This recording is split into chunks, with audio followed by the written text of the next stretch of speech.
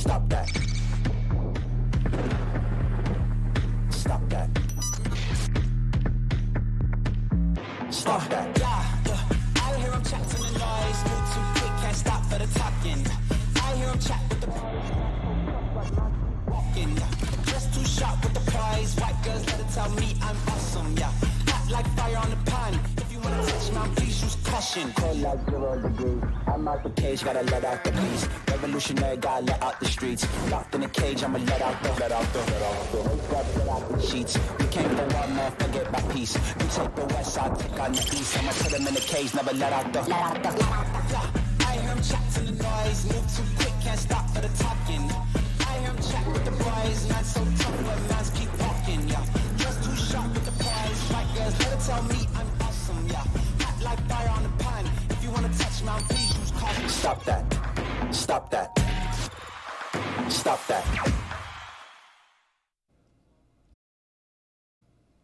I really do enjoy the way that the money is pouring into what used to be amateur sports and NIL and the chaos that it is causing. Uh, over uh, the weekend, Jack Gohlke, I think we all discovered him at the same time, plays for Oakland, comes in off the bench, does nothing but shoot. He makes 10 threes on three dribbles.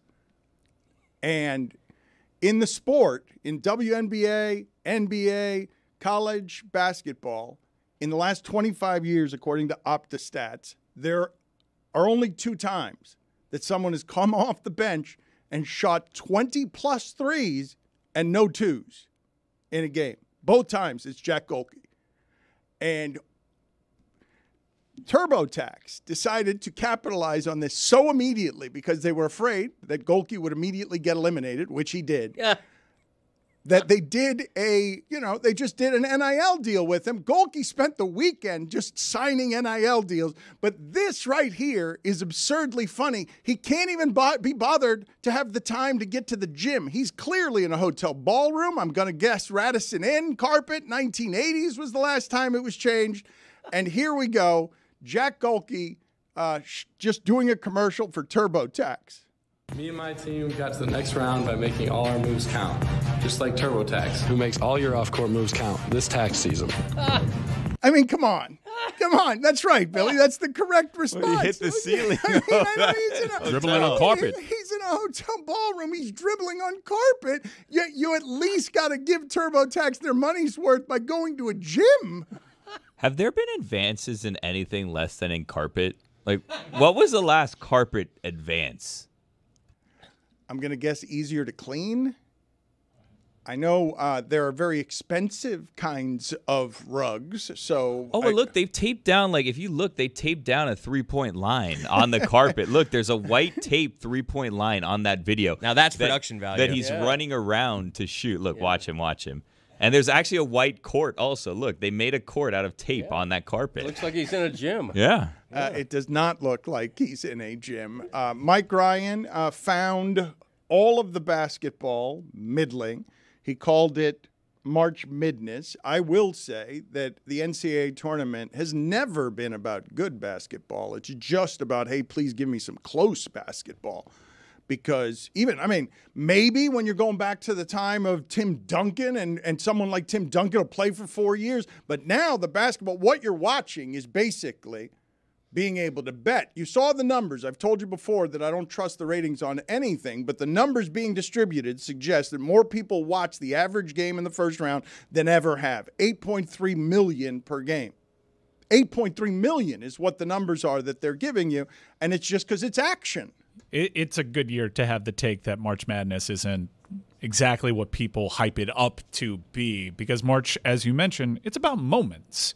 And there haven't really been moments. You had a crazy three to end regulation last night. You basically had good games to start the experience on your Friday and one solid one to to end your experience, but a whole lot of bad basketball and not a lot of memorable results. It is just the fifth time in history that all one and two seeds have advanced to the Sweet 16. So you haven't had real signature upsets. The darling Cinderellas are pretty much gone by now. So it, it hasn't been a great tournament by any real stretch of the imagination. I, I think it's been a return to the norm. I mean, last year you had three outliers in the men's Final Four, and and that's not you can't count on that happening. And now, you know, uh, for me, the NCAA tournament is something I really pay attention to now when it's at the Sweet 16. And, and there are no real Cinderellas left, and, unless you count NC State as an 11 seed.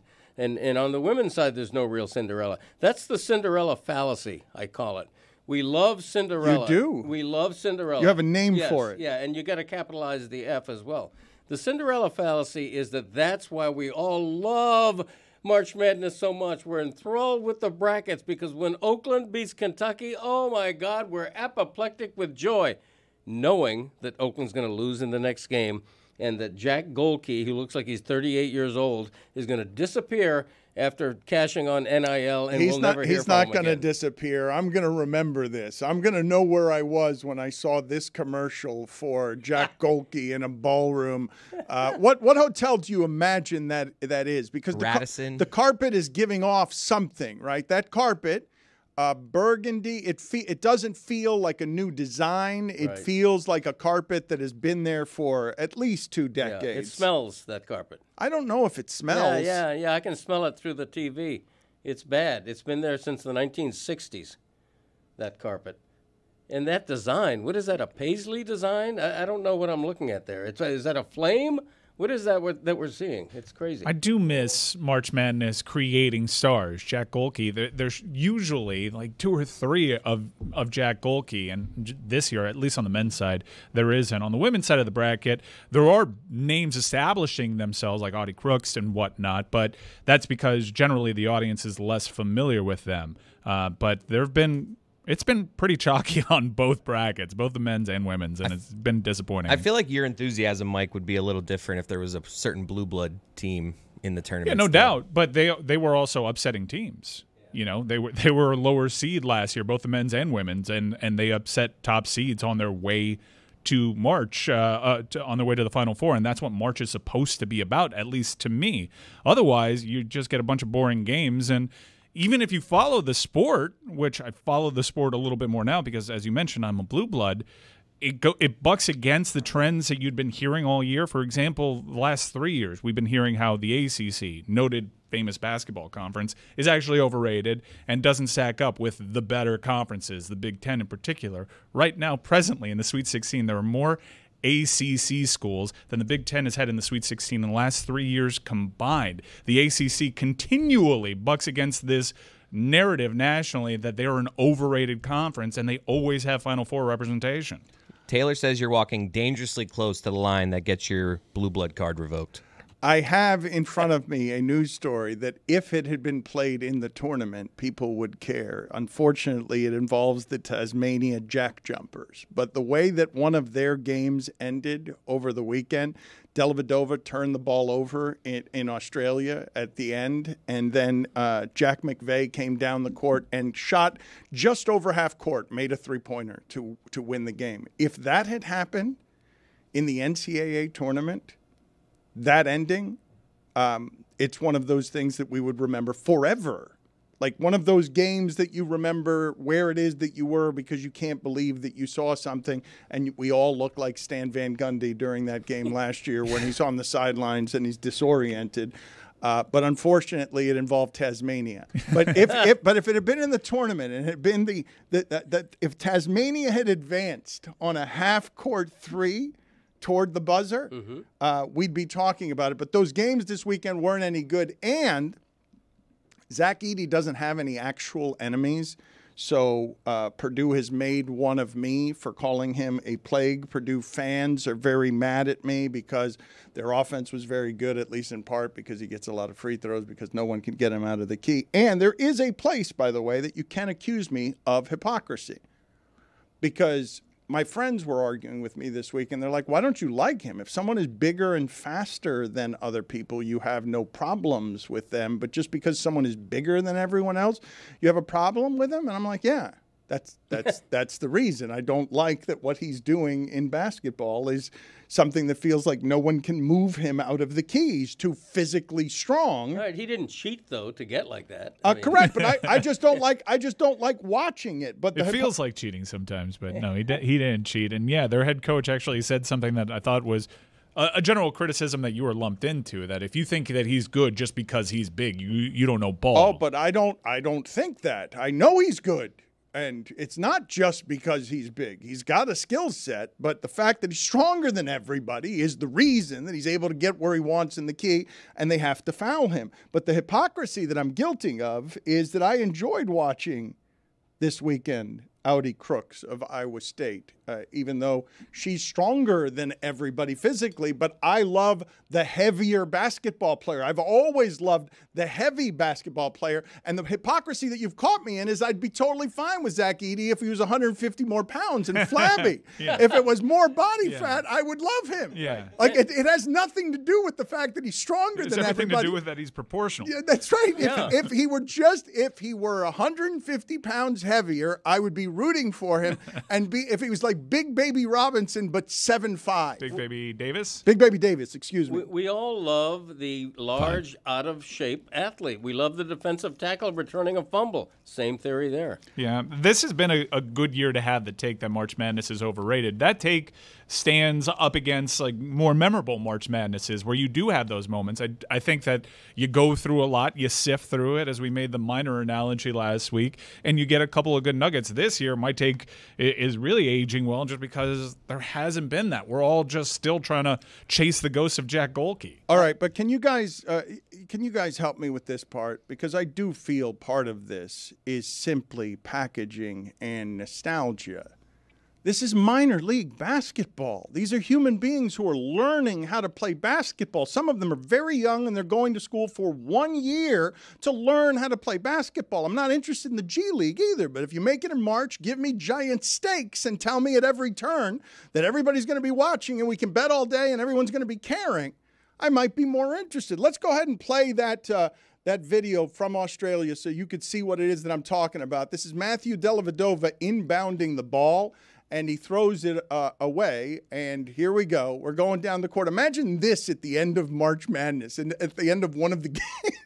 One of the games, Nice. totally absurd from half court, making a game winner from half court. I believe what you're watching is minor league basketball. There is a crazy amount to talk about. Rare is the day that we come in here and have this much stuff that is rich in societal, interesting, and Billy Gil is in the big boy seat with Mike Ryan literally almost breathing on his neck. Jim Nantz in the crowd. Billy, is everything okay? You're not in front of the microphone right now, and I want to talk to you Well, for I a have to second. turn on yours and Greg's mic, so I'm putting little arrows here to make sure that I turn on the right one. There's a lot going on. Okay, Bridges so, are falling. All It's a right. whole Yes. thing. Well, yes. So uh, Billy, Not to make excuses. No.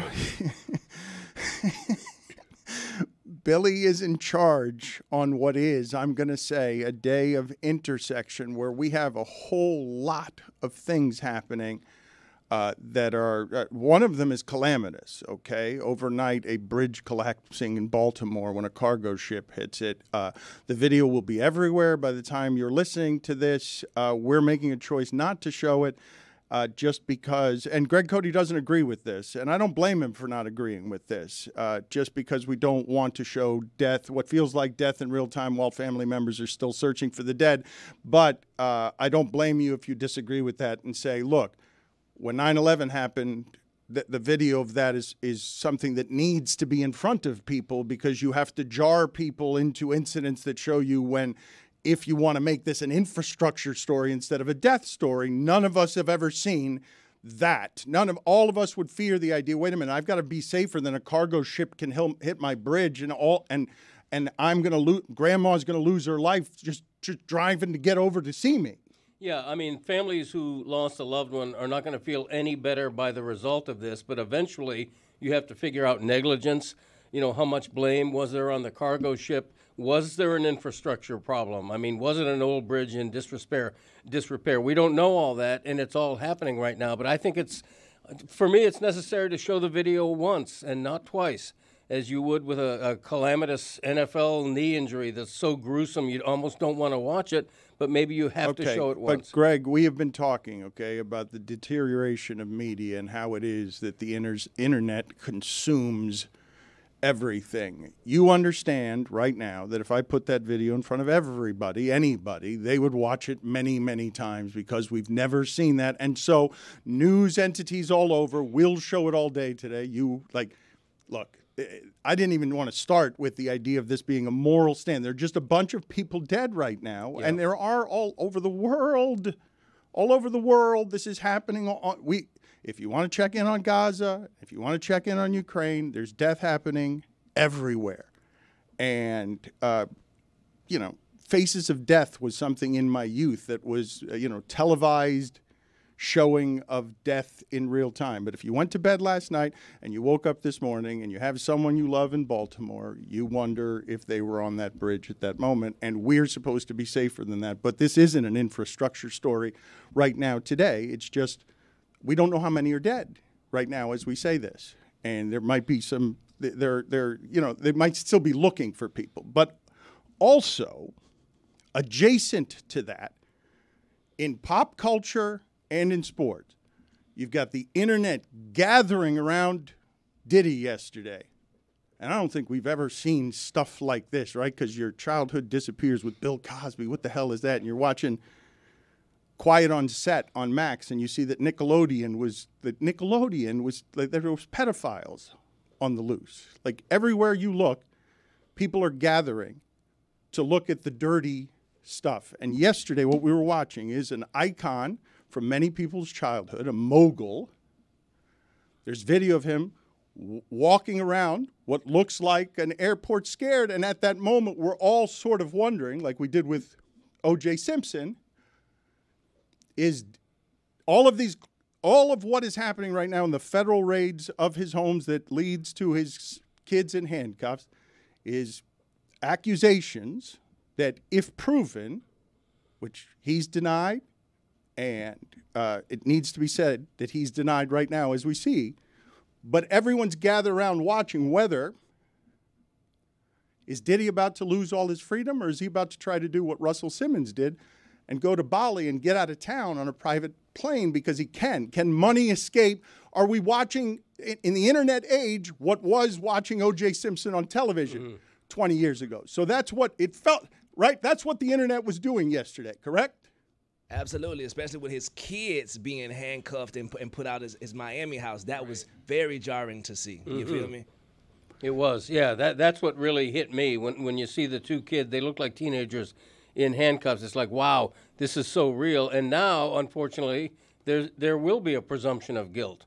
Right? Okay, everything here is alleged. But Yeah, yeah, there, there's a bunch of sure. a- allegations that uh, children were implicated in, in this ring, and social media sleuths started digging up videos uh, of women that uh, uh, di- of young women that uh, Diddy claimed to have adopted, and so there's all there's overwhelming circumstantial evidence. There's over an overwhelming number of allegations in the court of public opinion. Many of these have water, oh, hold water. Uh, Diddy is denied the- seemingly a mountain of allegations against him, and now the optics of him seemingly on the run to add to all of this.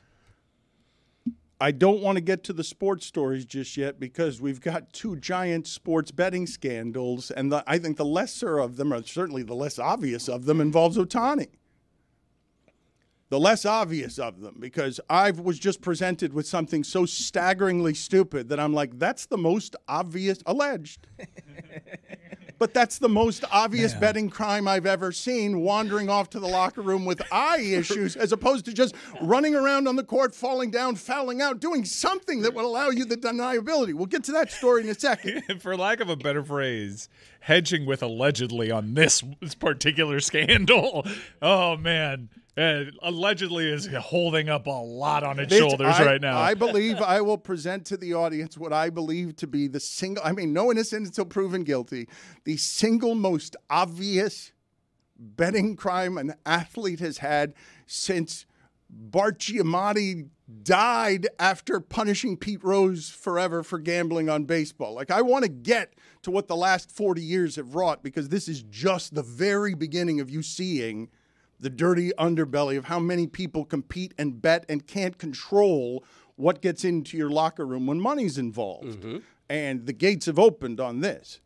But let's stay with Diddy for just a second here because this is nearby. Star Island is right here. It his life has been here. His his mother lives here. He was here all the time. He was here all the time during the most debaucherous of where it is that fame and power grabs people and the temptations of Miami come and all of a sudden your life is totally out of control because you're so powerful. All the vanities are huge. The Kardashians can create that into a billion dollar empire. You're a mogul on top of mogul and it made me think of Vince McMahon when I think of the allegations here.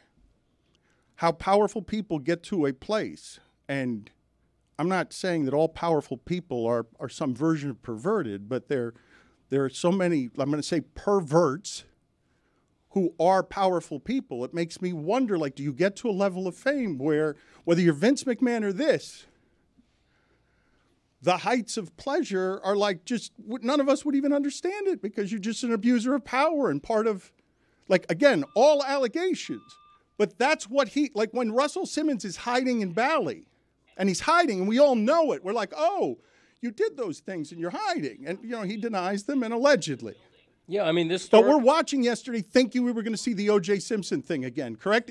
And people are tracking private planes now as well. Mm-hmm. And we know what about where he is as we speak Right, the fire alarm is is. I know I'm live. Time. I'm Terrible- li- I know I'm live now though. I can't I can't stop what we're doing just because there's a fire alarm. But yeah, yeah. especially Billy, is everything surrounded- okay? You just pretend that's not there and keep going. I don't Private plane. I mean, It's piercing into my brain. I know it's yeah. tough to do our job. What are we talking about? I don't want to be a Monday morning quarterback on this, but love air. Someone should have, you know, like, hey, what's going on? Right? Wrong? Can we? I'll uh, turn this off. Can we uh, pick apart the easy one and, and just head into the Jontay Porter one? Can we start there? you want to start with the sports scandal? Yeah, well, because that one seems like the easiest one to tackle because this one seems like the most obvious. Whenever you have, uh, thank you very much for the warning. Maybe we should get out of here. Let's investigate everybody.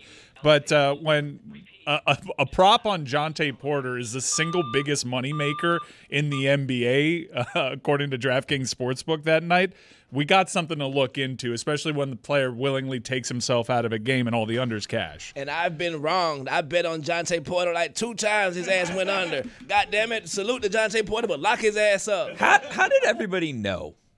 Like, who? Like, was there a group chat? Like, how did every like all the Yeah. gamblers got together and told each other? There's Like, a TV show called World's Dumbest Criminals. Dare I say, if it was still on air, my boy Jontay would be front and center. All right, let me explain to the audience that may not be up to the details. I discovered who this person was yesterday. I learned that he was the brother, uh, is the brother of Michael Porter. I learned that he played for the Raptors. I was not f- familiar with his game, and I learned this name because it just came across with betting scandal. There's been an investigation into betting scandal. And I'm like, okay, we better get used to those, right? I don't know who this player is, but there will be many names coming in the future, and this will be the first. This will this will be much worse, much worse than Calvin Ridley.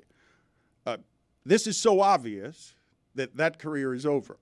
Like this, Uh, well, he's also of a stature where you could say his career is that's, over. that's correct. But uh, we all discovered together, correct, that he looked like, not like Michael Porter, but like a 2000s rom com of what a basketball player would look like if you went to Hollywood to go get a basketball player, correct? Absolutely. Loving basketball extra. We, we, we, Jawline, perfect, we everything. agree, yes. And now, the but the thing is, that by itself scandalous enough. You could say, oh, this is going to be this. People paying attention will know that this is worse than Ohtani, no matter what the details are on Ohtani, because because this is just so very obvious. eh, allegedly, there's none of this is proven. Allegedly, But This is all allegedly, allegedly. okay. Ten thousand, larger than ten thousand dollars uh, bets came in on his unders in random games. Like, brother, the dumbest criminals. no, right? the, the details. Allegedly. now, uh, Just saying, no one can add Ippei to this group chat. This would have made this all go away. The free re- e-pay, by the way.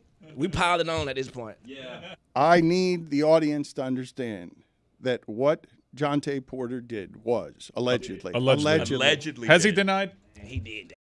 allegedly. Or has he been like, ah, you got me?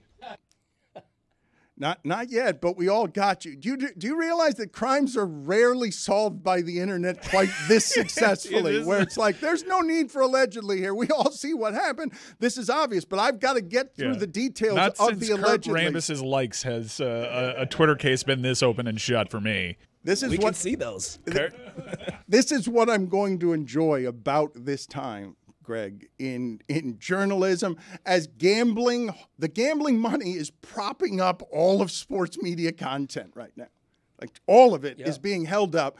And when you invite, as the leagues did, because I, I remember when it happened, right? Fantasy leagues had become so so omnipresent. Europe was already doing this, but seeing the name DraftKings on the basketball court was like, whoa, this is gambling, right? Gambling. So sports sports in America is now going to normalize gambling, and then the pandemic came, and then oil wells everywhere, and the gambling money's holding a lot of people up, like industries because the gambling money is something that makes March Madness, even though you don't know the names, they're just uniforms running up and down. The average game is getting 8 million viewers because that's gambling on television running up and down. And so the corrosive elements of that are the dangers to the intre- integrity of sports are that your players can be bought, your referees can be bought. And in this case, these are the details, and they matter because they're this obvious. This guy didn't do us the courtesy of just wandering around, bumping into people, and fouling out so you could deny that you were throwing the game. This guy went out with an under. He went out with an eye injury, and then the bets start pour. The bets have poured in to make it to, to make this guy's under and everything The single biggest moneymaker. on DraftKings.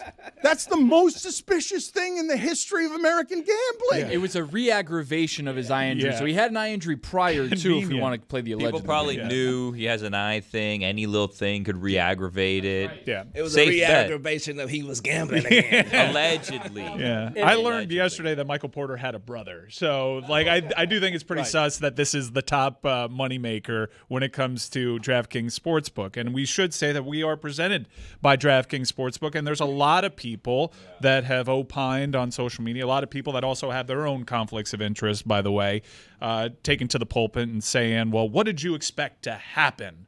when sports gambling became legal in this co- uh, country. And I will say, is there an uptick in, as we saw in Iowa with both those college football teams?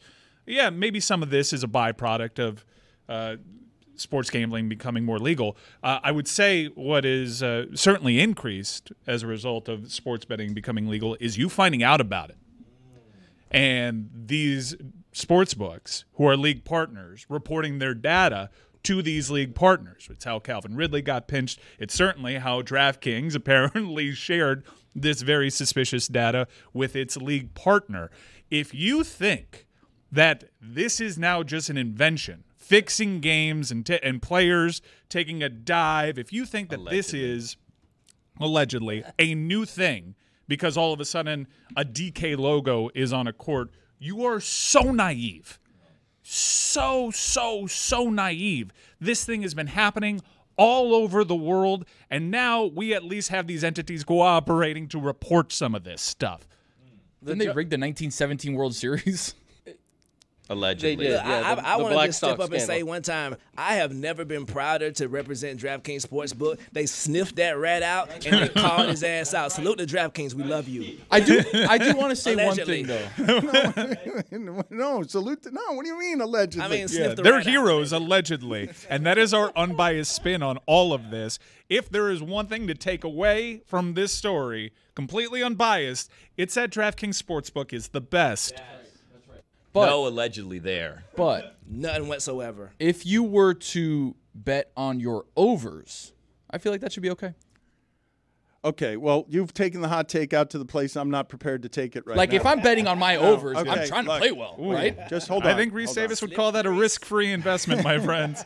By the way, that cashed. Everyone that wants to give Reese, it cashed. All right, let's normalize, please. If if we're gonna normalize it, let's normalize it. Okay, fine.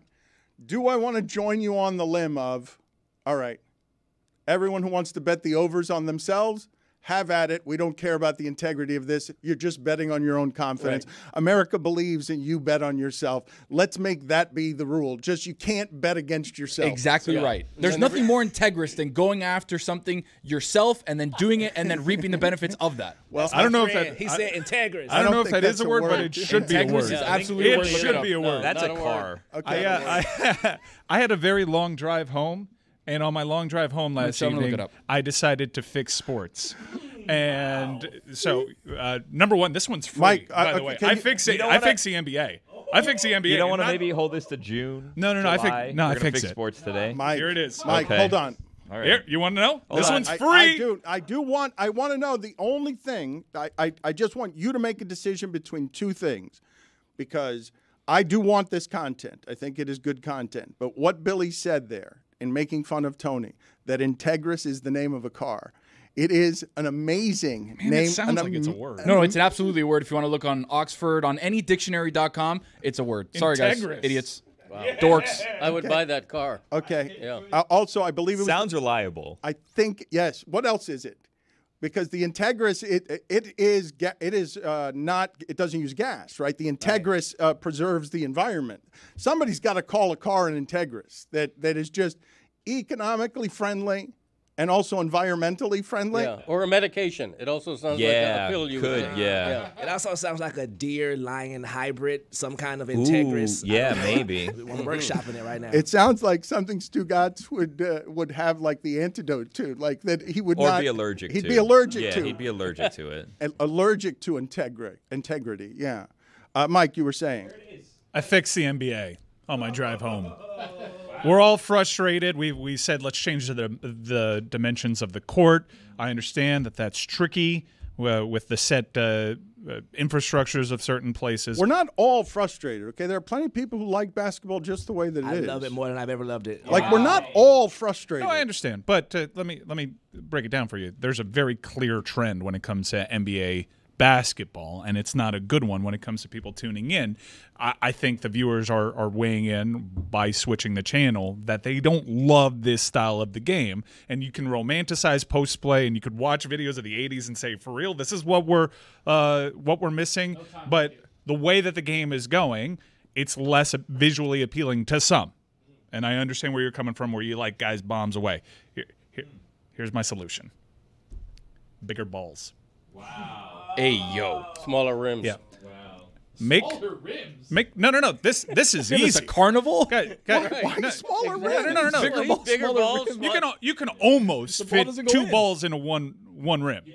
You can almost No, no, fit. you two. can fit but two. not like side by side. You got to move it around. People don't realize. You, you just make it bigger by like a centimeter, and let's see what happens. But if you, if you make, Make the it bigger by a centimeter. smaller, to Greg's point, you have less things to adjust. Yeah, right? but no, I no. You you're only fixing the ball. That Yeah, keep but you the have to fix dimensions. a lot of keep the rim. Keep the rim. Uh, You can. There's all sorts of different size balls. The WNBA use a different size ball. Swish. Yeah, make a bigger ball. like a beach ball. Just a slightly no no no, almost imperceptible. A slightly bigger ball by like a centimeter, and see what happens. What if you tell people you made a bigger ball, but you never did? So then in their head, I mean, if it's just centimeters bigger, you wouldn't know the difference, right? But once you know it's a bigger ball, you'd be like, ah, I don't know about this. So it's like a placebo effect with basketballs where you just tell everybody, hey, you know what? This year, the balls are bigger.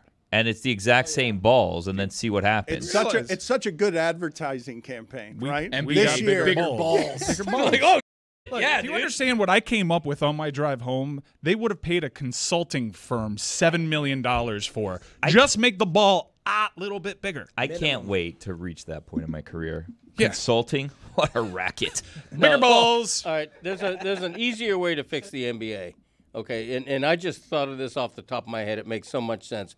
Shorten the season, limit three point shots. Hmm. You put a whole new strategy hmm. into the game. Yeah, if you know how you- you know how do you mean by limit three-point shots? like this. with a bigger With ball. a bigger ball. Okay, Okay. I, I'm just going to stop everyone now, okay, because we've got plenty to talk about today, and I'm I'm now officially mad that Mike Ryan has decided to fix basketball. How does this, a bigger ball fix three point shots. because less shots go in, and so Oh, it'll naturally I see. legislate fewer shots being Yeah. taken from outside, and people will want to get a little closer to the rim because their margin for error has now shrunk because the ball is a little bit bigger. so But- guess what, Zach Edey, you now have a place in the NBA. But Greg wants to literally legislate how many Yes. three pointers you could take. You'd even have it on a board, and every time they take one, an X exactly. goes through it. You, uh, like timeouts. I'm not sure what the number should be. In my mind, it's ten. yeah, they got it's three 10. three three pointers left in the game. Golden How are they shot going to use 20. them? this is so them. convoluted. Save them. If you just for make the you need ball a 'em. little bit Yep. bigger, it does everything. It does all the work for us. Nobody I'm sees that Dan's change. Side. I'm on Dan's side. I do know that no matter how big you make the ball, the Celtics will find a way to blow a damn lead when I'm in Miami. If you look back on the track record, if you see me in Miami, Jontay Porter, I see you out there. Bet the Celtics to lose when I'm in Miami because they will lose and crap the bed. I bring my Celtics jersey every time to wear down here, and I can never wear it without being embarrassed. And, Salute. and loot. Not you can't do a salute at the end of that. we that. saluting, big brother. We, oh, Please, please Salute. salute the bigger right balls that. Idea because I think the saluting. bigger balls idea is a good idea. He Yeah. is pushing that idea, man. Bigger You don't. ball. You don't. balls. You don't. didn't even get to how I fix gambling in sports. We'll get to it. There's time. You don't. You don't neuter the hater that that you sound like. oh, whoa, wow. Whoa, Hey, allegedly. yo. Allegedly. Okay, here we are. Wow. Deny those allegations. I deny 100% the allegation. Wow. With We'll a be back. Salute. Salute to Dan Le Batard and that beautiful jacket, by the way. Oh. It is Hair a nice perfectly jacket. coiffed as well. We'll be back after these messages, ladies and gentlemen. Uh, I don't think I'm going to be able to get to everything today. I never say that. I I don't think it's possible. We have not even done what happened with Ohtani yesterday. The gambling controversy that I'm guessing, and please correct me because I don't know how this is being covered. Ohtani is hugely famous, and yes, $4 million. $4.5 million with a cover up and the hugely famous player. That seems like a gambling scandal. Hell, last week I said if the worst of that is true, that'll be the biggest gambling, one of the biggest sports scandals we've ever seen. And then Jontay Porter happened. And I'm like, nope, that's a bigger one. He's not as famous. Now, obviously, if a famous person did it that way, but it, in terms of, a, of an obvious link to, ooh, this person, if, if I were Ohtani's people, I would throw this guy. You guys think the economy would just bury a translator? Like, if I was thinking about the most mafioso allegedly you could put together to protect the economy of Ohtani, I'd, I'd, I'd call and ask if Michael Porter has a brother to create this controversy that's so stupid, but so obviously guilty. I do not need a Allegedly. trial. I don't need to live in, live in an American system of government. I don't need an explanation. All of it allegedly, allegedly, denial, allegedly. But holy, if I didn't know better, I could now, by association, say, so that's why Michael Porter played that way in the finals, the worst starter on the floor for Denver and Miami. Now we're talking. Oh, whoa. That is a bridge too far. allegedly. Don't have Whoa. the I right, mean, reckless allegedly. speculation hat. for Okay, that. I have it. Hold on a second. Time to throw away all journalistic credibility and get reckless. Here is something we like to call reckless speculation. You're good. Thank you. I need that. I can't do it. I don't. Yeah. Nobody He was going to do it. genuinely I was looking for Greg to- somebody to play the role. to somebody to tell me Come that on, I, I, you're in that I was good. I'm Here. surprised you're bringing Michael into it. Yeah. Well, To be Leaps honest. Well, he hasn't yet. We're about to get reckless. Too far. All right. Okay. Mm-hmm. what's the point of being reckless unless you're going to be Yeah, reckless? go all the way, man. Do it. is Speculate, Dano. Well, just tell him he's good. Just say it. Just say well, Juju said it, but I feel like hold on. Well, you need that chair to say you're good. Yeah, you're good. Go. Thank you. Yeah, no problem. In the finals last year, Denver crushed Miami. Michael Porter was the worst starter in that series by leaps and bounds. I know this because before that series, one of my expert opinions was you all are going to learn how good a basketball player Michael Porter is. And then we watched the finals together, and none of us learned that, and he made me embarrassed. So you got a grudge. So, so I have got a vindictive grudge. My bias. That's right. This is. I allege to be a journalist. I allege. I allege. I allege. Allegedly. But I too bought by DraftKings. Yeah. How much I- money did you lose betting a on le- Michael Porter? Well, I bought. This is the thing. I went Michael Porter over on six and a half rebounds or something, and then I'm looking out there, and he's just wandering around and missing shots, and then it's two rebounds. I'm like, you're not trying, but I can't prove it. yeah, but you're not bitter though. But you're not that bad, but I can't prove it. I can't. This guy got me. This guy. allegedly might have taught his brother how to do this poorly, poorly. But Oh, whoa, whoa, whoa! Fade the music back up. no, Whoa. no, it's all, it's all, it's no, it's all reckless and it's irresponsible and it's Missed like 30 straight threes in the finals, by the way. so As bad. if you were shooting with bigger balls. on multiple But Thursday imagine- Thunders not crash the boards. I mean, neither here nor there, but I'm 16 and Gotta three, follow your and shot. Michael Porter Jr. are two of them. You can't miss 33s if you're only allowed to take 10. Yes, thank you. Limit the threes. Okay, I will not fix basketball today with Billy Gil. You're and- not trying. Well, we already We're gonna be fixed it. perfectly honest. We're trying to It's fix it. There's only man. one person have a, fitting I out. have a Limit the stamp threes. that says bigger balls. Limit the games. Limit the Seven threes. million dollars, I have a please. stamp that says fixed. Uh, okay, Which well, way? Oh, hold on. Which Yeah. way? Oh, wait a second. What was fixed? That's a, good stamp. I like that both ways. That stamp where we could just, man, you don't think we can do a segment every day just called fixed? Allegedly, allegedly, allegedly? Every day, something in sports. But let's, if we're going to let the walls come crumbling down, then let's let them come crumbling down. The gambling money is everywhere. It is. This is just the start of it, Ohtani. Some nobody Uh, over. Dan, Dan, keep your eye on the bigger ball. Yeah. And don't put this on the companies. I say, as someone that is totally unbiased, look at the perpetrators. Okay, I will entertain. I want to get to these other things, but I will entertain your bigger ball just this way. Just in order to, I don't. Thank you. Uh, Like you guys are minimizing my bigger ball thing, and I really don't appreciate it because I haven't heard that anywhere. Make the ball a little bit bigger. Imagine that. what I what I'm telling. Y- y- I- look, there are any number of times I get dragged into God knows what sewer on the internet because somebody on this show has had an opinion that then gets attached to me. Warren Sapp wants to kill me because he thinks that I think he has bad breath. I have never- Allegedly. Allegedly. I've never He's said that. the. Stugotz, Allegedly. Stugotz has oh, said wow. that. Hmm. I thought you said it. Your, I am willing to endorse though. I usually avoid. I prevent. I try. I'm like they said it. Not. Well, it doesn't matter. In this instance, I am willing to endorse Mike Ryan's take 100% as fixing basketball. The, the, the one fix stamp, not the other one we're talking about where the games are fixed. Oh, the Jontay Porter stamp. Al- allegedly. The big ball theory that he throws out there has only one problem in it. Because these guys are such scientists about shooting, the one time they did try to change the ball just a little, there was a revolt by the players because shooters could no longer shoot. So you want less scoring I am not making. Swaggy P a scientist, just for the record. And I understand it was calamitous, but we have a problem here. Guys are chucking up 15 three point shots a game, and the audience has voted saying that that is unappealing to the eye, and they are voting with a remote control. So, how do we legislate this without putting in absolute, absolute limits like Greg Cote is recommending? But but why are you against that? Because not only does it uh, help what the problem is, it adds a whole new strategy to the game. it's communist. It's un-American. Let me shoot threes as much as I want for as long as I want with who I want to do it with. U.S. you we, we, we, we, we don't limit. We we explore our inhibitions over here and do so. We what is America like? Hedonism and big things. So be hedonistic with a bigger ball. Yeah, and how's that working? The hedon- hedonistic bigger things. How's that working? I mean, we're still on the metal medal stand when you look at the globe. All right, so Hmm. I won't apologize for being on the metal stand. Okay. He's not going to apologize for bigger balls. He's not going to do it. Yeah. I'm gonna apologize to the audience for not mentioning these six words in what are we 52 minutes in? Paige Bueckers, Juju Watson, and the kid herself, Caitlin Clark. Phenomenal performance. You know what, Yeah. Juju? You're so right about this. them. Juju, I'm sorry. So let's because this show.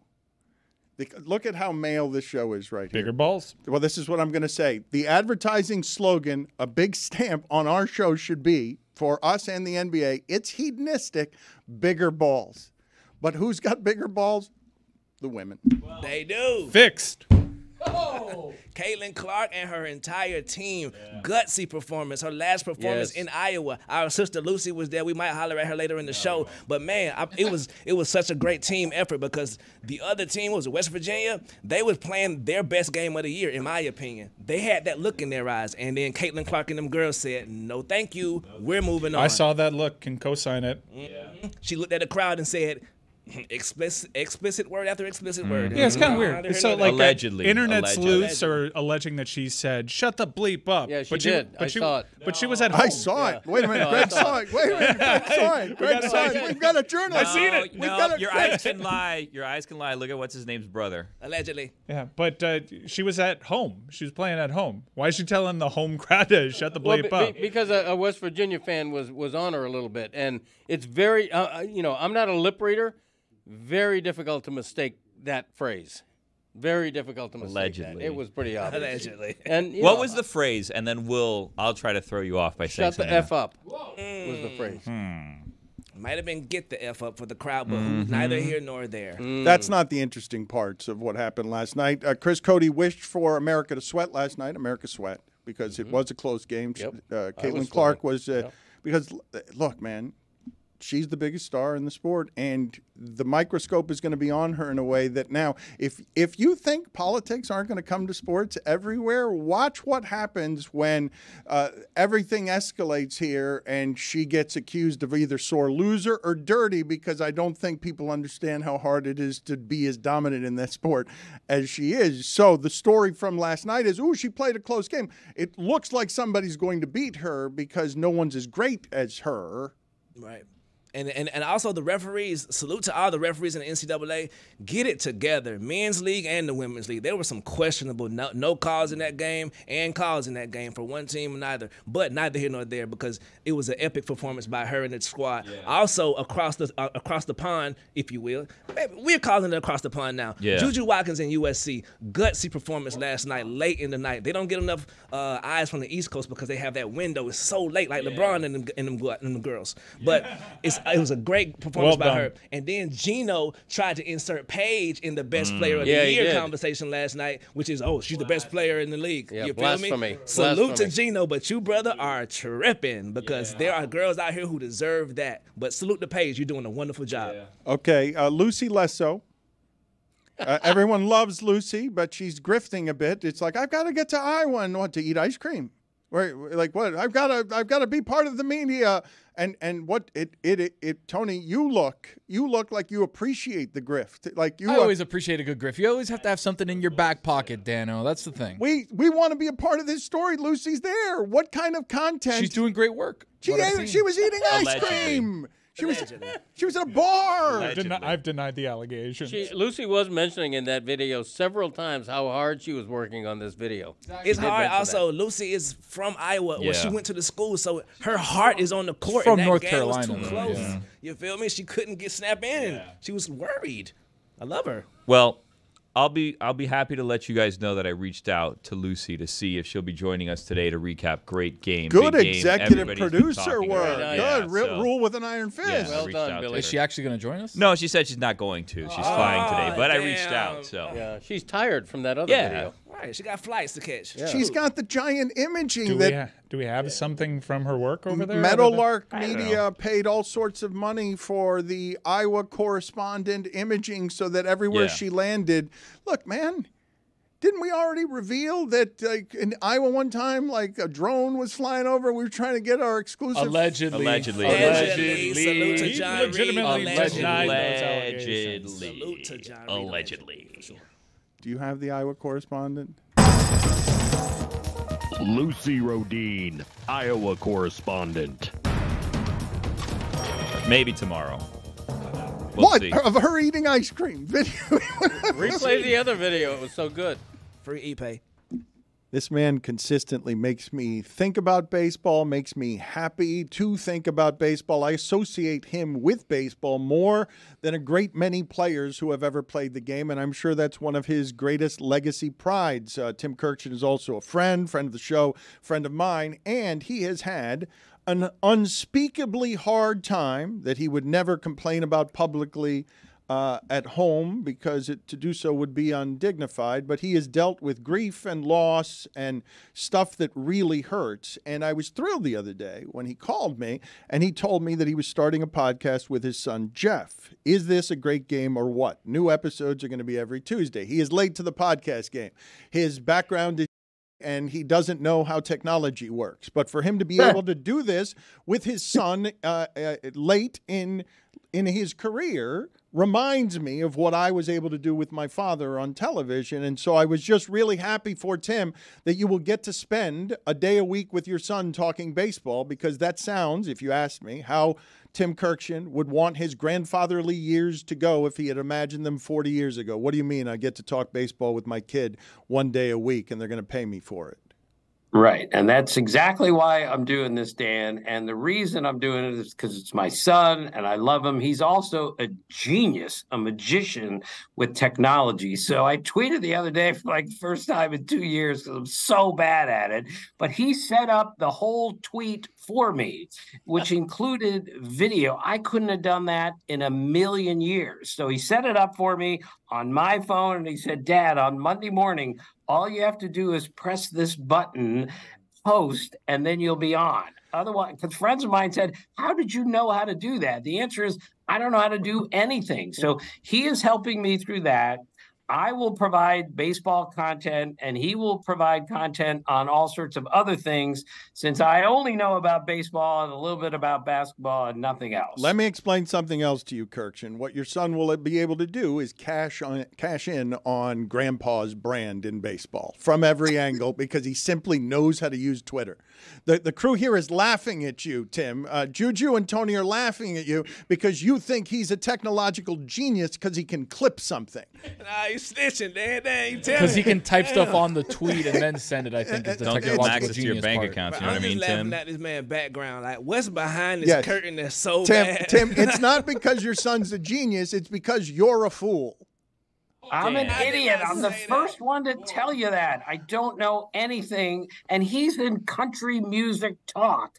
And and he's thrown, you know, country I called it country western music until about three months ago when he finally said, Dad, that's not what it's called anymore. It's country music. So I'm gonna learn something about that. Uh, among many things, while we do this show. So it's not just going to be pure baseball, me telling stories. It's going to be back and forth, me and my son. And hopefully, I'll learn something from all the things that he knows that I know. Well, hopefully Jeff will learn something from our show because when it's called "Is This a Great Game or What," the sh- the the name of it should be. I'm going to take what's left of Grandpa's uh, money or Grandpa's knowledge, or uh, that he is going to use the Kurkjian brand to branch out into podcasts when you normally don't care about podcasts. Certainly, you don't listen to them and you don't know how to download them. I don't know how to download them. I don't know how to listen to them. I don't know how to do anything. And you're right. I'm trying to help my son, who, by the way, doesn't need any help. He's doing really well in Philadelphia as a morning talk show, music, country music host. I'm just doing this because it's something I always wanted to do. He's my son. We have great chemistry. We have great fun together. And that's what the only reason I'm doing. it. If he cashes in on me, if we make any money on this, he's getting it, not me. I don't care about that. All right, I want to get in the bidding. I want to get in the bidding for this podcast. I don't know if I can buy it from E ESPN. It's kind of you're just announcing it. I'm, this might be tampering, but I'd like to get in on bidding on whatever it is this podcast becomes because on one of the episodes you called me the other day and you were giggling. Uh, the one time I put you and Mike Schur together at microphones, you talked for 50 straight minutes in a way on South Beach sessions that people found delightful. One of your first podcasts is going to be him and you just geeking out on the passion of baseball, right? People love listening to you on baseball, and you're like a kid opening baseball cards when you talk to Mike Schur. Right. And we open baseball cards on uh, several segments where they just open a card and my son says, All right, tell the story about this guy. Mike Schur was so great. I told him we'll only need 20 to 30 minutes. We went 45. We could have gone four hours and 45 minutes. And that's how great he was. It wasn't even, Dan, a question and answer period. It was a three way conversation between three people who love baseball, two of us who are unhealthily addicted to the game. And Mike told me about three stories that I've never heard before. And he's I do this for a living, and he knows stuff that I don't know about baseball. It's embarrassing, but it was so great. he told us a story where Manny Ramirez went to buy a motorcycle and he didn't think he could afford it because it cost $95,000. So the guy said, Manny, you're a major league player. You can afford this. And he said, okay, I'll pay for it now. But I left my wallet at home. And he looked at his buddy who was standing right next to him and said, Can I have $95,000? He, he thought he had it on him. That's one of a million stories that Mike Mike Schur told that made me laugh out loud. Uh, Manny uh, wore a $60 earring and didn't seem to know the value of money because he uh, was in the neighborhood that I had just bought a home in very early in my career. The, the, the, the area was just growing out, it was just beginning. It was not expensive land or homes, and he wanted to buy a house there for his family. And he asked his agent, uh, can I afford this house here? And his agent told him, Manny, you can afford the whole bleeping neighborhood. How do you not know? How do you? But but Tim, you've got all sorts of stories like that. Where I, I want to get into the Ohtani stuff with you, and I want to get into um, some of the elements here of how much was Ohtani relying on his translator as like an all-purpose person that he trusted with everything, including his bank accounts. Uh, but I want to talk to you about the difficulties players have in transitioning over here because the excuse on Ohtani can't be as simple as he wasn't familiar with gambling rules and he doesn't know the difference between a DraftKings and uh, and a and a you know a guy named Manny who's running a syndicate. Like the the controversy is a weird one, and I don't think I totally understand what he might be guilty of here. Right. And, and, I'm with you too, Dan. I think we need to ask like a million more questions about this. And it really hurt yesterday that no one was allowed to ask a question. I will say, however, he was way more forthcoming than I thought he was going to be. He was angrier, more emotional, more passionate than I thought. I thought he was going to read a canned press release saying, hey, I can't talk about this. We'll talk about it at the proper time. There's an investigation going on. Instead, there were times I felt like he looked up from his script and actually spoke to us. And I think he deserves certainly a little bit of credit for doing that. Now, however, we still have a zillion questions like, where did how could he not know that 4.5 million dollars was taken from him? How could he not know that his interpreter was doing something like this maybe rich people do this all the time these are the questions i still need to know but i will tell you for the most part and maybe this is my nature I believed most of what he said yesterday, and others have told me I am completely wrong about that. But I don't know how he could not know what was going on, and those are the questions that need to be answered. Here's the problem with you, Kurkjian, and your eternal niceness. Everyone can get away with everything because the whole steroid thing happened right under your nose. You're a journalist, and the whole thing happened right under your nose. So you're like, I believe Ohtani. The truth is, I do too, but they can get away with anything on your watch, Kurkjian, because you you love the sport too much. Look at him. Look how disappointed he is with it. He's, he's, are you mad at me? Did I just actually enrage Tim Kurkjian? No, it happened under your nose too. Tell his It happened Tell his under ass. Right. everyone's nose. The best investigative reporters in the game didn't know this was going on. Look, I'm not going to make any excuses for me. I missed the story badly, as we all did. But you can't just be covering the game, asking a baseball question, and then say, "Oh, are you doing steroids?" It just doesn't work that way. When they brought you know, Mark Fainaru-Wada in and he went undercover for two years. That's how you get the story. That's how you figure this out. No excuses. I missed it. I miss a lot of things. That's the way it works. I've got a two prong question, though, because you know more about history and perspective in this realm than a great many of the people who cover anything, never mind just baseball. The weirdness of what happened with an interview that then looked like a cover, up that then becomes massive theft and makes all of this so much worse because you've got a disavowed interview. Can you please take me through where this ranks for you in terms of weird scandal, at least in part because of that weird interview situation? Yeah, this is the strangest, most confusing, most confounding story that I think I've seen in the 44 years that I have covered. And mainly because, A, we're talking about not just the biggest star in the game, we're talking about the biggest athletic star in sports today and one of the greatest stars in the history of baseball. And Dan, I have never seen a story change as quickly as it did in a 24 hour period from this is what Shohei did. Oh no, it's a massive theft. That's what confused me. And that's why we're on this and why we need to get to the bottom of it with a million more questions. But I know I have slapped my forehead a hundred times since this story came out. Uh, what happened here? Who can explain this? And we still don't have an explanation, but I still think we got at least a little bit of clarity yesterday that we didn't have the day before. One of the big things, Tim, yesterday that confused me, I guess, was kind of when he was telling the story and and if you go by the timeline of how things have been going on, right? Because the fact that is that it was going on in two different countries at the same time, right? In different time zones or whatever. But I think at one point he said yesterday, I didn't really think anything was amiss until after Ippei was talking to the entire clubhouse. He was saying it in English and I realized something's off here. The thing that I thought was a little strange about that is by the timeline, unless I'm wrong, at that point, Ippei had already conducted the interview. It had been disavowed. And, like, I just don't understand how no one else in Shohei's camp said anything to him. Like, hey, something's going on here. It took until after that conversation in the clubhouse and then a one on one conversation the two of them allegedly had in a hotel where he said, oh, okay, like, something's actually on. Like, how did how was no one else in his team kind of telling him, hey, something's happening here? You should be paying attention to this.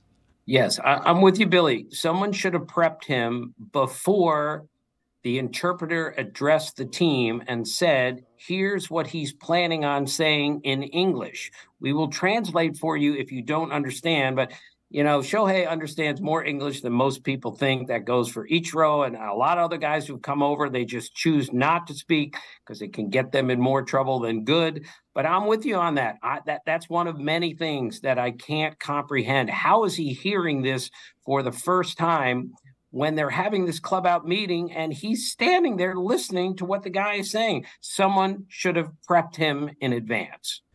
Amin is back. I am grateful for his presence. Oddball every day except for Monday. Oddball is, oh, I love that commercial you did. I mean, Oddball, I can feel it getting stronger and stronger. Yes, it's only a matter Hey, of time. yo. Jesus. And then we get bigger. Um, I am waiting for you to be a bigger oddball. I am. I am. I want bigger balls around here in general. There is something, though. Oddball is positively throbbing right now. And you know it. Caleb, Stealing Caleb, my material. Caleb Williams. We could have used it at the end of the last segment. We could have used a stray and you know it as Tony And you lost track of the clock and just started talking about mixed martial arts in a way that was too serious. Back in my day today, or Is there back in my day? There is actually. Are, what? Were you not going to tell anyone? What? Wait a minute. You guys, Tuesday. guys, How long have I been doing this it's a show? Tuesday. Seriously. I don't understand. Wait, that. we've got to do that. There was also I got to get to Caleb Williams. There's news breaking with Caleb Williams. I've got to get to. Greg Cote is mad at Tim Kurkjian and me because Tim Kurkjian's podcast with his son just got so much promotion. Seriously, I mean, the Greg Cote show with Greg Cote and Chris Cote invented the father and son podcast. And and yet I can't get a shout out on this show. I mean, I'm sitting right here. He's got a point. Mark Jackson has a podcast with his son now. Seriously. It's this is all the rage now. Father son where podcast. My, where are my royalty checks at? Okay, he's mad at Tim Kurkjian. We'll get to that in just a second. Uh, we've got to update our March Sadness tournament as well. But I was hugely surprised, and I don't know the discomforts of this. Juju, are you surprised in any way that Amin's father watches this show? And Amin's an adult. What? He- he's a front office person. Uh, look at Billy yawning right there. Our parents, nobody It's here. unrelated to No, this. our, our parents here do not watch what we're doing here. Amin, with a grandfathered aged parent um, who I don't know why he would be watching this show or his son at all. And I certainly can't see him understanding what you're doing here, throwing away your career. But Whoa! so- Wouldn't he be a father aged father? no, he's gra- he's grandfather age. He's Really? a grandfather. Nah, that right? Greg's right. Thank Hmm. you. But my guess is, how old is Hey, your you dad? it. How old is your dad? My, My- da- my dad's about your dad's age. so he's almost 80. Yeah. Wow. Yeah, but that's a that's a dad's age too. Yeah, You he's still guys- dad. Yeah. Well, you got to be. It's kind of a prereq. to Why being don't a you just say grandfather. the age rather than just confuse me? Because uh, grandfathers can be very young these days. Because Amin, even though sometimes he sounds like a child, is an old person, and his father is much older. just reveal the age. Child. Kurt Russell's playing 93 year olds out here. Sounds like a child. That sounds like a, a blast. I'm just saying, there, when you go to the All Star game and get drunk and don't produce any footage, some people Well, could say, say that's that the now. behavior. He listens to the show, Dan. Does he watch the show only when you're on or every day? So this is what happened. I Only on was, I was, only, I love the old guy. Only on Tuesdays. I love Cote and his back in my day. Thank you. Billy, my, my dad, and I, I don't know if your dad is of this age, but my dad is of the age where he watches YouTube videos on his phone very loudly. My dad's not 80. Okay. That my dad is at that age, right? Where everything he watches is full blast. And so I hear it sometimes it's news and sometimes it's it's soccer highlights and sometimes it's something a little funny skit or whatever. So I'm listening one day and I'm like, "Huh, these voices sound real familiar. What what's he listening to?" And then I realize, "Oh, he's listening to us." On a day when you weren't there? When- on a day when I wasn't there. But then I thought maybe it's just one of those videos, right? So then the other day he says, Oh, they really made fun of you about that shot, huh? And I said, What are you talking about, father? He's like, Because I thought maybe, just maybe, he just caught it off like Facebook or something like that. He's like, Yeah, Dan and those guys, they were really uh, getting into you on that. And I was like, Oh, you, you watch the show now? Is this a thing? So now, now we have to be careful. CeeLo Green became a grandfather at the age of 35. Wow. My mommy watches this show. My mommy watches this show every Does day, she? Especially every well, she watches it when I'm on it, but Yeah, my dad's the same. Yeah. Yeah. My father would be 108. I'm just saying. Would he watch the show? Yeah, would he watch yeah, the he show? would. He is right now. From heaven. Yeah. Kiefer Sutherland was under 40. What? Wow. I was nominated and I achieved the 40 under 40 award uh, with help from Roy Bellamy this this year. Wow, Salute to congrats. Roy Bellamy. I There you never go. made a big deal about it, but since No. we're talking about 40s. 40 under go. 40? No, that's that's that's Wow. pretty big. Uh, again, your mom must be real proud. Yes, sir. Thank my, you so much. My dad is not because I haven't been nominated I other was- than Suey's. I was at church the other day, and the priest said that he baptized someone and baptized their grandparents. I immediately turned to someone sitting next to me and go, he's lying. it just seems impossible. In the church. I did say it in the church. Lord if mercy. anything, it seems like a good place to be forgiven, right? But like, come on, That's that, efficient. that was a whopper, That's right? the place where you're efficient? It- yeah. Hold on. Is, is that the best place to Oh lie? yeah, you go if you're gonna murder someone, do it right before you go to confession. Because then it's Boom. just like turn around right here. absolved. Was it Father Eddie? No, that's a whole other. It is allegedly. I'm not sure that Juju can. Uh, you're talking about being efficient in how it is you sin, so that you can sin quickly and Cor- get it immediately absolved. So just Yes. do it in just do it in the I confessional box. Yeah. Speaking of efficiency, we haven't gotten to any of the topics you were crunched for time on. Uh, thank you, Juju. I appreciate it. Uh, but one of them was his dad watches the show because Nice. I'm confused by it. But let's get to Greg Cote's back in my day because I didn't even know we had one of those. And now it is time to take a trip down memory lane. Here's your guide, Greg Cote, with Back in My Day. Shit, I hope I have okay, here it is. Sorry. Adultery. That Oh, yeah, We are back. That is waiting for this one. Wait, wait, wait, wait, wait. By accident, what just happened? I think that's the record. Roy, for years, has been counting the amount of time that he pregnant pauses there. That was the record because he was looking for his papers. Because he was surprised that he has it back in my desk. I got a lot of papers here. I'm a busy man. Adultery! First, an important disclaimer. This back in my day is absolutely not an essay born of personal experience. And if it were, what was the chance I'd actually admit it on a national podcast? Okay, let's be mm-hmm. honest about something inherently dishonest. Adultery, infidelity, cheating, whatever you want to call it, was so much easier back before technology came along and ruined everything. Or rather, so I'd imagine the clandestine Casanovas would lament. Cheating was easy once. You just had to make sure you weren't doing it around friends, neighbors, or coworkers. So if you lived in Mayberry, the two of you drove up to Mount Pilot, got a corner booth at the bar, then a room at the No-Tell Motel, and called it a night. You were blessedly incommunicado. There were no cell phones allowing any busybody snoop to record or photograph you. You were completely out of touch until you dropped a dime in a payphone. There was no CCTV closed circuit cameras spying on every movement you made, no facial ID technology, no TMZ with hired spies around every corner, no social media splaying wide everyone's personal life. Now, every text message and voicemail exchange is retrievable. You think delete search history actually does that? Ha ha, your naivete is so cute. Back in my day, you wrote a fake name in the motel guest book. The board clerk said you're in room nine, Dr. McGillicuddy, and you went on your merry way. Now there'd be an unblinking ring camera above the door ratting on you. It isn't just relationship cheats who have it tough these days. How the heck do criminals get away with anything?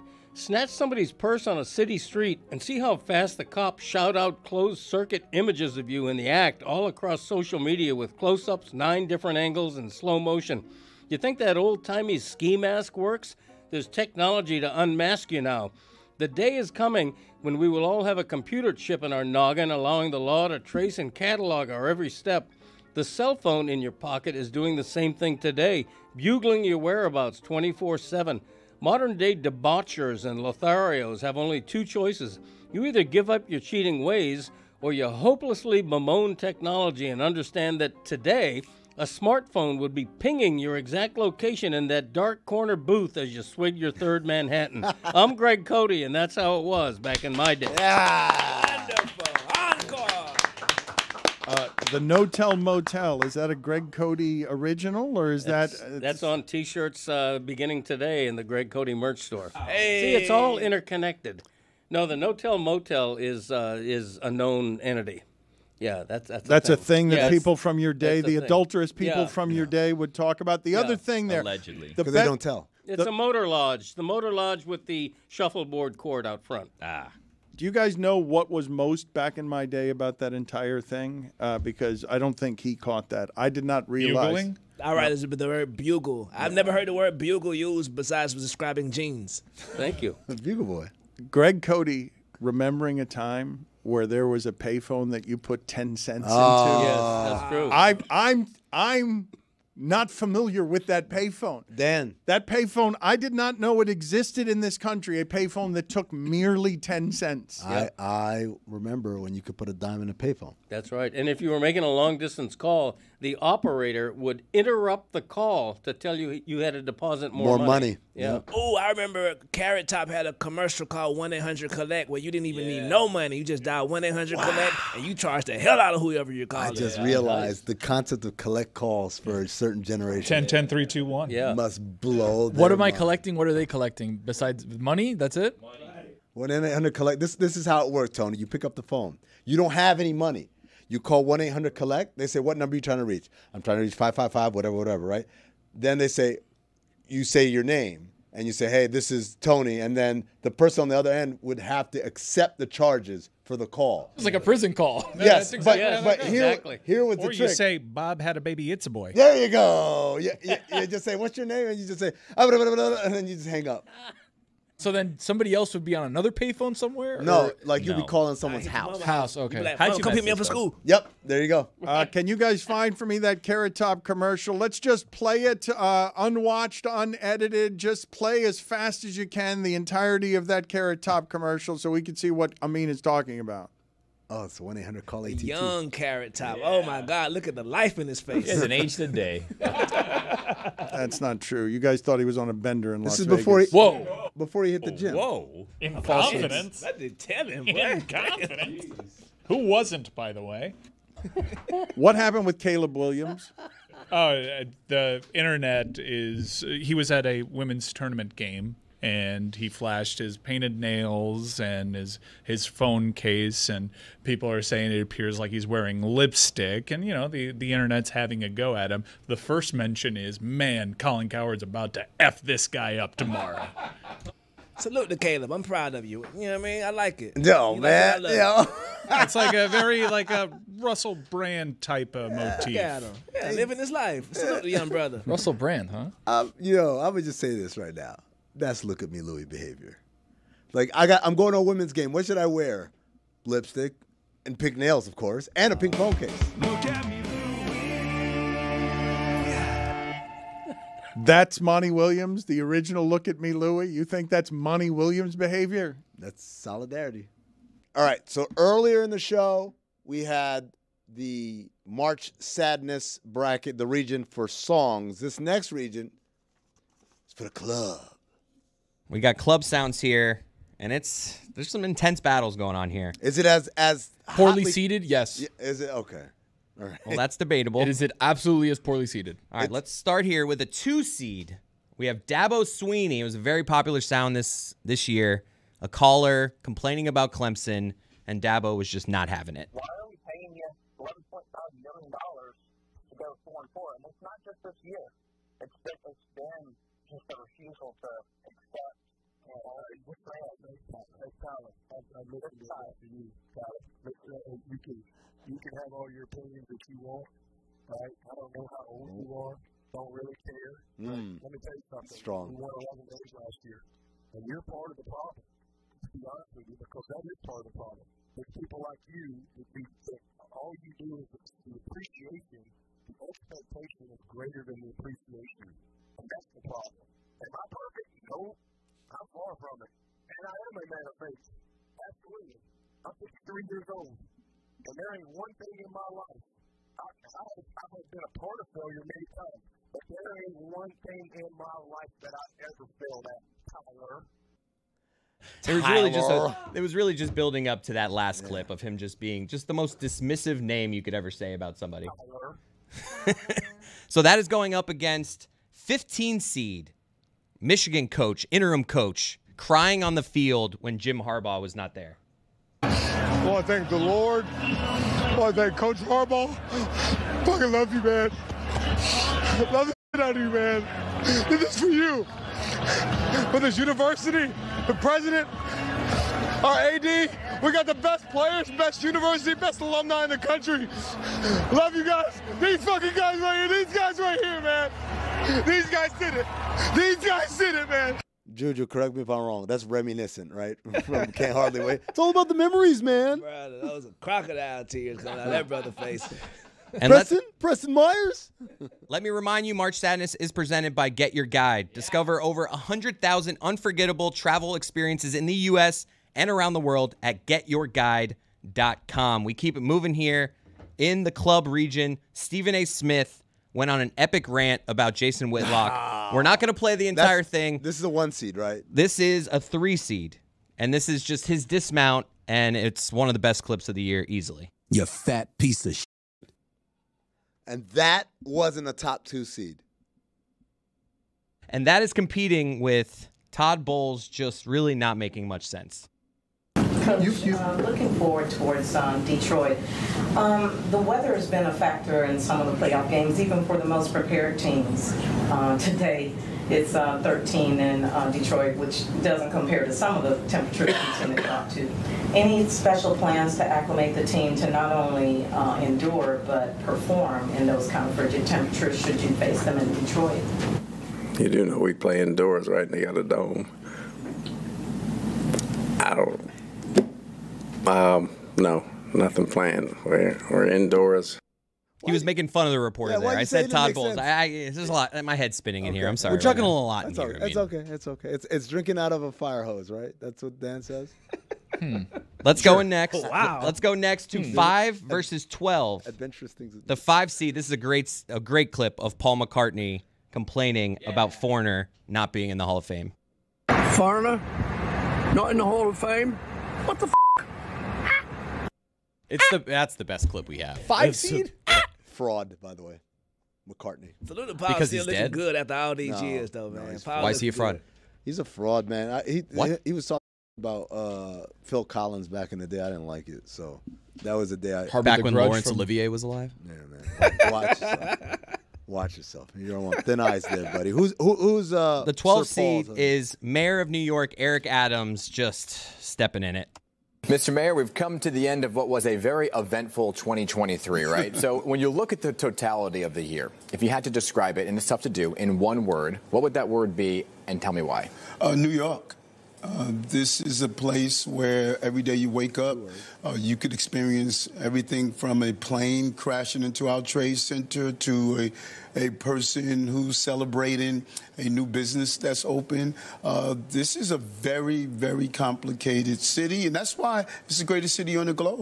512 upset rears its head again because boys, Eric Adams, if he don't move on to the next round, I'm gonna question these listeners for sure. All right. 8 9 matchup. We have Lucy with one of her most epic quotes of the year, I would say. I was getting bitches left and right. That might be the favorite to come out the whole. God, that's so good. I was. That's- Guess what? One of them texted me back this weekend, asked if I could hang out. Hey. I'm busy though. Sorry, Lexi. And that is competing with a nine seed. It's a clip of me talking about my wife, and I'm worried that she might be cheating on me. Can I be vulnerable for a second? Billy shared, and he was vulnerable there, so I want to be. I want to be vulnerable. Oh boy. Um, if you find out your spouse or significant other is playing Wordle with somebody that you were unaware there is it is catching your wife in a Wordle game the same as catching your wife at lunch? Is what I want to ask. What? Better get on that. Yeah, yeah, yeah. How can you Better play get on that. Wordle with someone else? Don't you play Wordle with someone? No. Is it a my, dude? maybe Words- I'm, maybe, words I'm- with maybe my name. Maybe Words I'm saying with words with friends? friends. Yeah, Sorry. yeah. now- Is it a oh, yeah. no, you should be The concerned. game where you send words You back have and forth. generally trouble with words. Is it Yes. a is Words it a dude? with friends with benefits. Yeah, you should be Is worried. it a dude? It is a dude. Oh yeah, okay. Be concerned. Words with friends with benefits. Like, sh- like, uh, what's the line? Where's the line on like what's going on All right, there? well, you're saying, but this is what you're saying. All right, yeah, Lucy's gonna beat me there. Lucy's gonna beat me there. Feeling real good. Yeah. Yeah. it- it- You know what? Did I tell you about the seating or did I tell you about the seating you know what? beforehand? I told you. Tony, you might be onto something. Something's not right with this tournament. All right, we're moving on here, and this is a one seed. The one seed in the club region, and it is a member of our shows, Grandma. I'm seeing the arrangement that Jessica's grandmother got in Q here that we're about to play, and it is a really nice looking arrangement, and I have my regrets. Okay, but let's play for the audience. Uh, Jessica, does this need any other setup? Because I'm Nope. telling you, in reading the transcript, I was just made so happy. How does this woman sound? Please tell me she's got a, a thick, thick accent and she sounds extra old. She sounds like she's from Chicago and she grew up in Little Italy. Let me hear this. I got the Jessica. Holy sh! I got the most gorgeous roses. I don't think I ever got that many roses in my whole life. Certainly not from your lovely grandfather. God may his soul rest in peace. Thank you. Oh my God, they are beautiful. I'm I'm flabbergasted. I mean, holy sh! I don't know what it's for, but I love you for it. Thank you. You made my day. I mean, they are gorgeous. Holy. I mean, that's a good one seed. I mean, that's. Oh, come on. That's Salute that run-on sentence that ends with "certainly from your lovely grandfather, God Right, rest rest his his soul." I mean, come on. That's like a four seed. I yeah. I'm, I, Oh, it's definitely like nah. yeah. It's it's hosting. It's hosting a game. It's but, hosting you know. for sure. Come on. But- Salute the one eight hundred flowers at that. Always involved. Yeah, hell yeah. 16 seed is who is competing with that, and that is David Samson with just a, a quick, short little clip that we all enjoyed very much. Go pee pee. Hey. 16 seed. That's a 16 Hey. seed. Go Billy's pee pee. Let me let me do it again. Let me for, for the people in the back. That's St. St. Peter's. Peter's. Yeah, we can hear. Oh, that's uh, Go pee pee. That's the movie I'm doing for St. of Hope. Stop. yes, that's St. Peter's. 16 seed. I'm predicting it's Go gonna win. pee-pee. Go pee pee. That was one of the greatest quotes of the year. We're making that a 16 seed. What the hell is Cinephobe?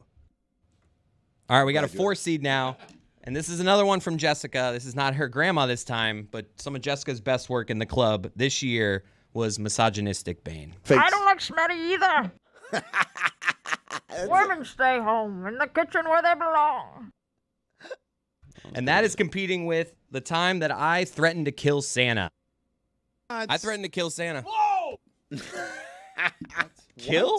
Like murder? It needed to be done. Like de- it's not bad enough that that she has to witness Santa dead in a pool of his own blood. If you pee in this bed It's- one more time, whoa, well, it's my bed. She now has to imagine her father in jail for murder. How'd your wife take that? Famously for murdering Santa. That's right.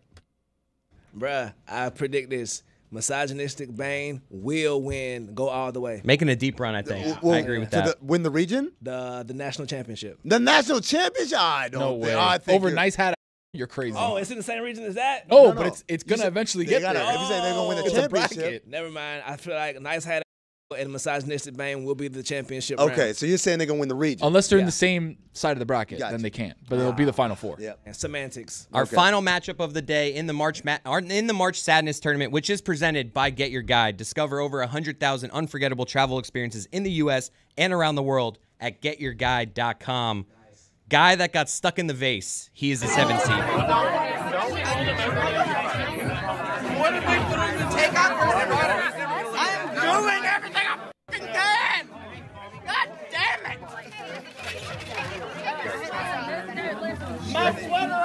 Already took my belt off and I didn't do You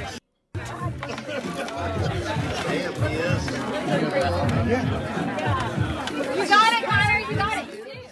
All right, it's a guy stuck in a vase. Yo, the, the most underrated part about that is that uh, Salt-N-Pepa Shoop is played in the I, background. that's all I heard was Shoot, shoot, shoot, shoot, daddy. So the guy stuck in the vase is competing against. Hold one on, of- hold on. That's a seven seed. That is a seven seed. This seeds. I'll tell you what. It is But- competing against a 10 seed, Charles Barkley, one of my favorite clips, him trying to say Sergei Bobrovsky. And I'm gonna just tell y'all something. Sergey Babakov, that's the goalie for the Panthers. Sergei Bobovkov. Oh, man. So that is our March Sadness update for the day. Make sure to go to our social channels and vote for all these winners. If you're not happy with the seedings, you can control who moves on. So go to our socials and vote.